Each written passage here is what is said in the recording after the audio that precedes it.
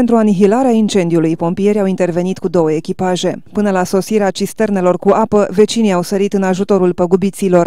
Am venit cu stingătoare, am venit cu gălesc cu apă, am venit cu ce am putut și până Ați a venit... sărit în ajutor. În ajutor, da. Până a venit organele care au fost competente și au stins focul. Dar au acasă Da, proprietarii. Proprietarii probabil erau la televizor sau în cameră, deci focul a ieșit din spate. Poate acolo nu știu ce, nu știu eu ce au, că nu... Ați sărit în ajutor cu... Dar sigur, da. Apă cu- cu apă, cu căldăr, cu... De la fântână, de la pompă. Noi știu cel mai mult, cu gălețile, când a venit pompierii. Dacă nu ceram noi cu gălețile, hă? se întindea încoacea. Focul a pornit la o anexă gospodărească din lemn, cauza incendiului fiind efectul termic degajat de coșul de fum neprotejat termic și amplasat lângă materiale combustibile. Noi am fost solicitați să intervin pentru stingerea unui incendiu la o casă de locuit.